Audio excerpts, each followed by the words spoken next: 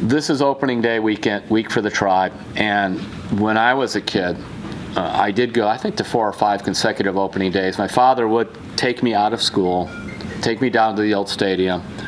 And back then, it wasn't quite as hard to get tickets to opening day like it is now because the stadium was so big. And I still just remember the fact that when you would walk out in the stadium and to see the green grass and see how big the whole place looked with the lake out there beyond the bleachers, it was just a stunning sight for someone who was little. Um, the other thing I remember one time we went down was a cold opening day, and we followed the sun kind of around the park from section to section to section as the game went on, trying to be able to still sit in the sun. And of course, by about the third or fourth inning, most of the people had gone home. I think the Indians were getting hammered, but we stayed there to the end. We just kept moving around the park in the sections to stay in the sun. And the reason I bring up these memories because somebody this week is going to be making opening day memories with their kids. And you know, for others of us, it goes back to the old stadium, or for some of us, it goes back even to League Park. You know, I do have heard a few people that remember going back to the old place there, and I'm so thrilled that they have done a lot of work on League Park to make it there.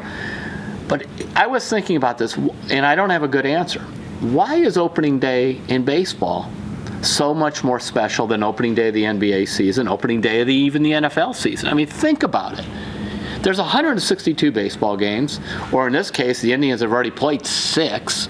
You got 156 more to go. Yet this is a big deal.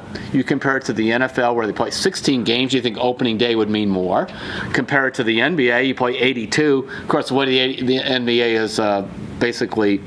Uh, wiped out the value of the regular season. Maybe that's why people uh, don't like opening day. But I covered the NBA for years, and it was never that big a deal. There was people didn't people don't sit around and tell opening day stories about basketball, football, or hockey like they do about baseball. And my only guess is because there are so many games and it's so long, it's sort of like running that first mile of the marathon. If nothing else, maybe I didn't do all 26 miles, but I got through mile one.